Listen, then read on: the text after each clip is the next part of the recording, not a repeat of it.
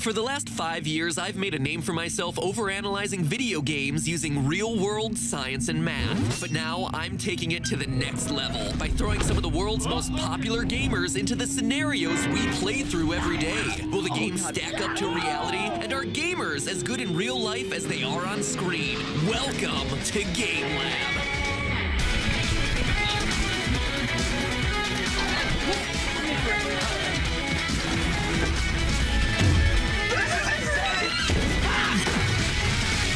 Thank you.